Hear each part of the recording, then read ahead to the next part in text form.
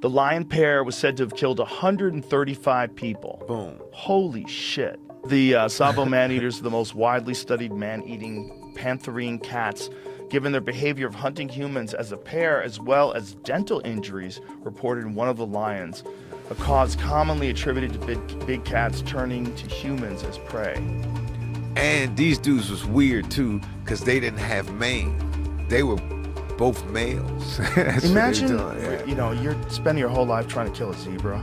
They're fast as fuck. You gotta, you gotta sneak up on them. You gotta get them, and then you find these people like, oh Jesus, Yeah. they can't even run. They'll stumble over their own feet. They're wearing shoes. You just take them out, and like, oh my god, this is so much easier. We can get fat. Yeah.